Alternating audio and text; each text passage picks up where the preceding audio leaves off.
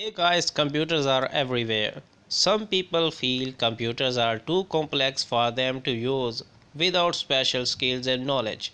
However, they interact with computers all the time without necessarily realizing it. Look closely. Computers are almost everywhere, not just in the conventional setup that includes a monitor, keyboard, and mouse.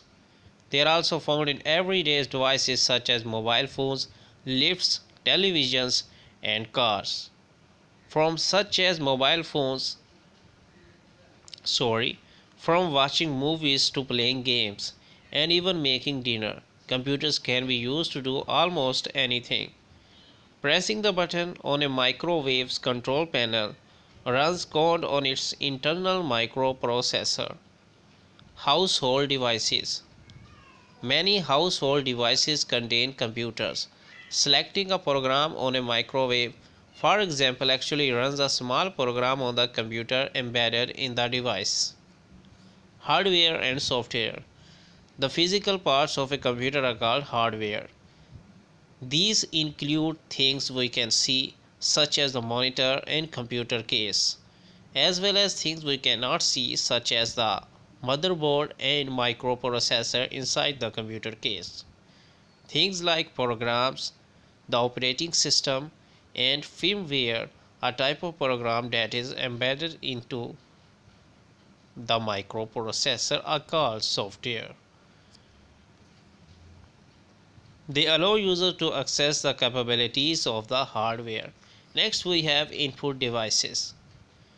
There are a lot of ways to input information and interact with software running on a computer. The most common ways to do this are by using a keyboard, a mouse, or a touch screen. Looking for files.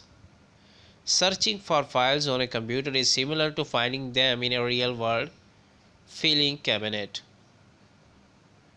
The file system on a computer is usually accessed using a window containing small icons of folders or documents.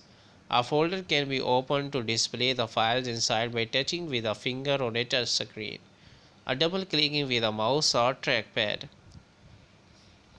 How you can search a file? The best way to look for a file is to find the magnifying glass icon, then click on it and type the file name or keyword in the search bar. Image viewer and text viewer you can see. So opening files and in the bin. Also for the moving data you use your USB drive, your memory card, removable hard disk. So gonna see you in the next video. Until then, goodbye for now.